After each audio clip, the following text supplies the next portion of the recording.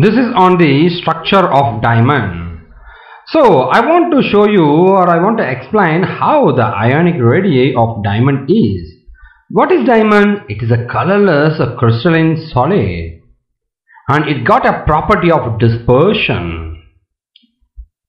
You are able to see the lights dispersion and it's a saturated hydrocarbons. So diamond, what is a saturated hydrocarbon? It got a carbon-carbon link. So the value of the bond length distance in a variety of saturated carbon is 1.54 angstrom. So radius of carbon is equal to bond length of carbon-carbon divided by 2. That's 1.54 divided by 2, that's 0.77 angstrom. You got a heteronuclear diatomic molecule discussion now. You are able to see this homonuclear, the reason is uh, the same molecule. Over here the same molecule, it's homonuclear. Over here this is different, indicates it's hetero. And here it's different, it's hetero. So I'm going to talk about the heteronuclear diatomic molecule. In case of heteronuclear diatomic molecule of AB type, the bond length is given by the radius of A and radius of B.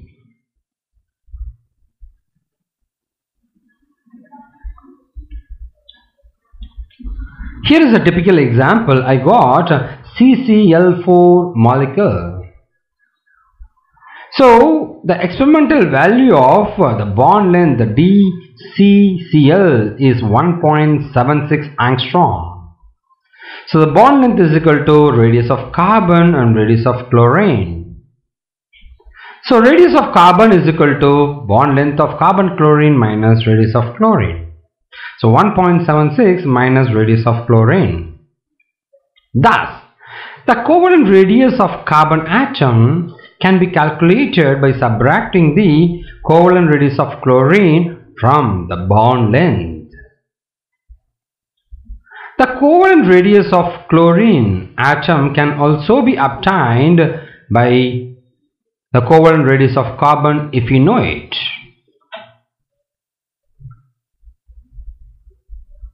So here are the some of the values of heteronuclear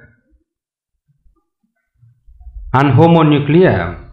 So first thing I'm going to talk about the homonuclear one. So H2 hydrogen hydrogen you got 0.74. For fluorine it's 1.44. For chlorine it's 1.98. For bromine it's 2.28 and for methane it's ethane. So CH3 CH3 you got 1.54.